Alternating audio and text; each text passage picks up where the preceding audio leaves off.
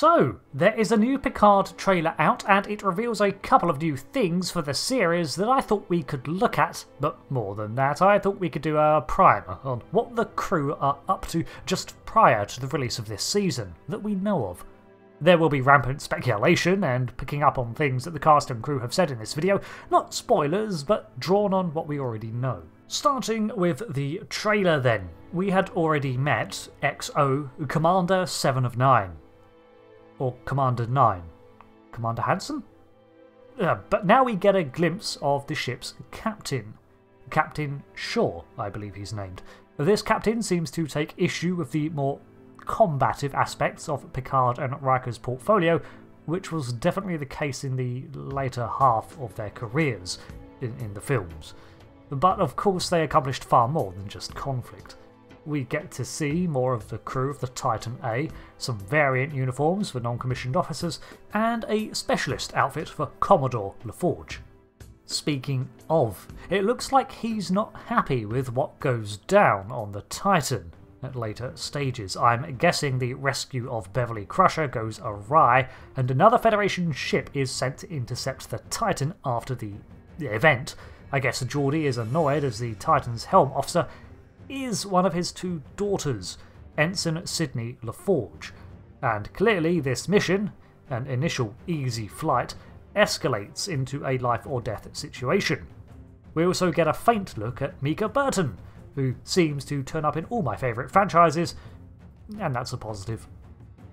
The character of Lore appears again, and we're still assuming this is who he claims to be. However, if so, he has had some changes, I suspect this is a golem recreation of Lore built by Altan Soong and restored from a disassembled backup of Lore after he was defeated by Data in 2370. He appears in a Starfleet uniform, lacking a badge, which signifies him as a specialist, so I do wonder if he's actually working alongside Starfleet in some restrained capacity, while they think they have a handle on him. The presence of Moriarty 2 suggests a strong focus on artificial intelligence, as both the Soong androids and Moriarty were far ahead of their time and subjects of intense research from Starfleet R&D. Now, the ban on that field has been lifted. It looks like Starfleet has delved back into it with a vengeance and maybe a rashness. The Titan A itself also features prominently in this trailer, in both its launch from the Sol system and in warp, showing signs of damage, presumably after the collision of the vessel with Crusher aboard. The Titan A, as a reminder, is a Neo Constitution class, not sure if that's a working title, but we'll see, and the smaller ship that houses Beverly's stasis pod is seen under attack by these craft and I think inadvertently acts as bait to lure out Picard, which too is a new class of vessel, and a lot smaller and probably merely a science or scout ship. We also get to see a new type of vessel. Initially I thought this was an Excelsior 2, but there are a number of differences, so I think this is yet another new vessel. This series, along with the prior Season 2, are doing a far better job of fleshing out the Starfleet Navy.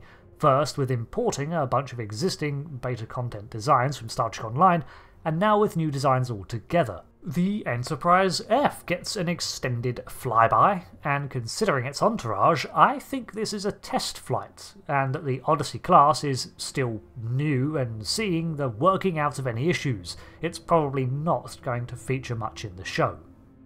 So, as for the characters themselves, Beverly Crusher has not actually seen Picard for several years, and apparently there is a reason for that. Something happened in Crusher's recent history that has had her path diverge from Picard, but of course some level of responsibility and loyalty remains between the two.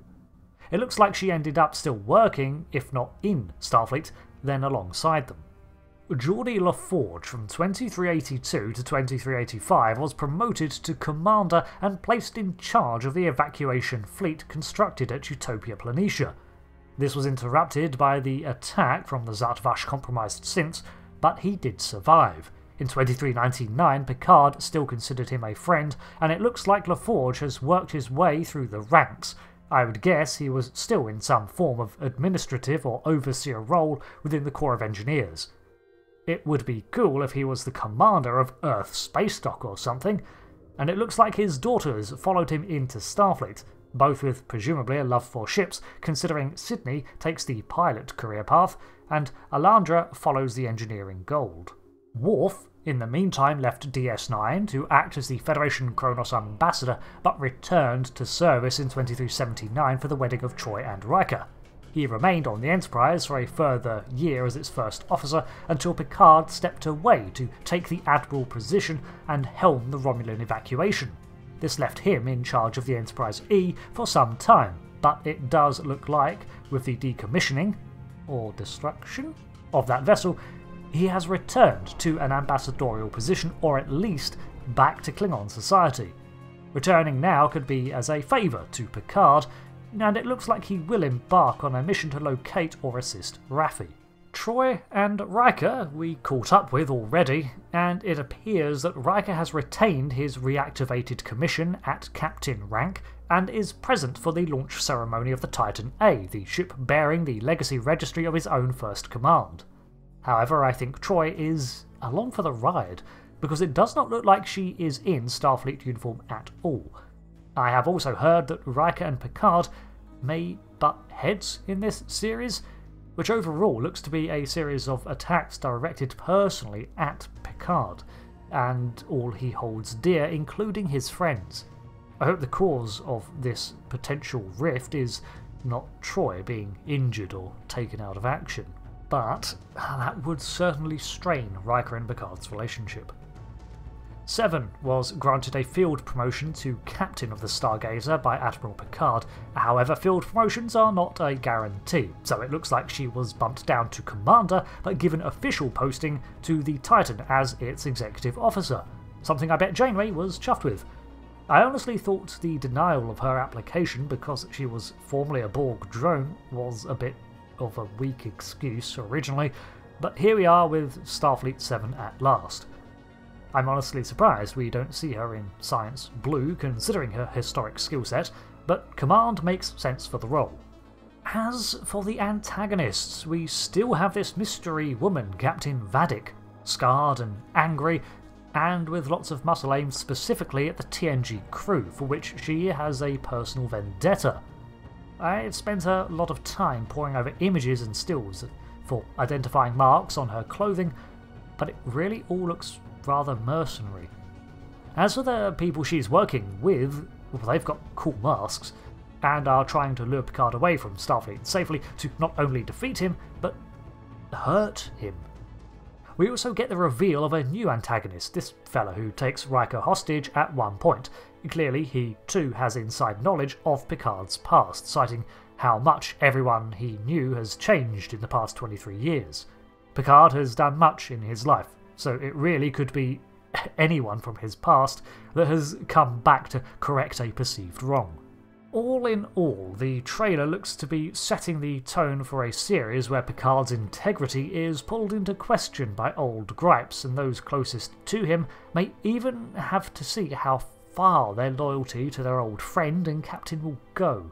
Now, 23 years later, and they've all moved on in their own lives with their own important aspects to them. Will Geordi still help if it puts his daughters in harm's way, for example?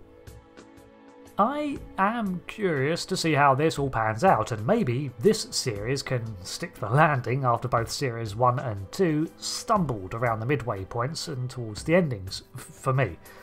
I'm excited to see the cast returning, and the notions that they may return even as just guiding characters for a new cast moving onwards, that makes me happy. I would very much like to see a continuation of live action Star Trek moving forwards with the timeline, even if they do end up overwriting the universe of things like Star Trek Online with new lore. So, I've been Rick. Thanks for watching this breakdown. Theories and your ideas are welcome, and once more, thanks and goodbye.